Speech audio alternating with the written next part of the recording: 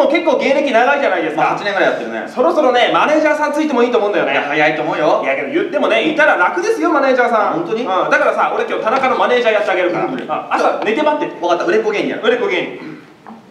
チリリリリやばいもうこんな時間だ。田中さんを起こしに行かなければザザザザほんとほんとえーあーあーあーあーあーちょっと田中さん朝ですよ。俺んちどこだよ。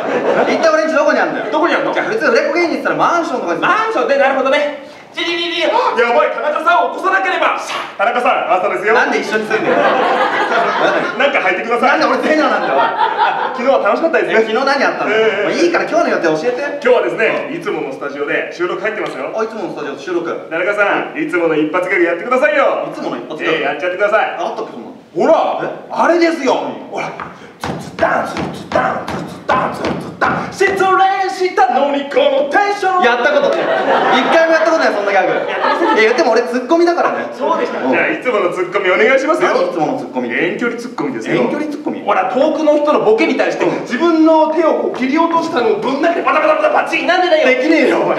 そんなツッコミできるわけねえだろ。やってませんでしたっけ？あそういえば田中さん何？この間見ましたよ。え何を？週刊誌。ああ取られたんだよね。ね女性といたのね。取られちゃったよ。撮ったら僕ですよ。何やってんの？お前何してんだよ人売んなよ。お前よ腹立つな。もうなんか飲み物買ってこいよ。飲み物？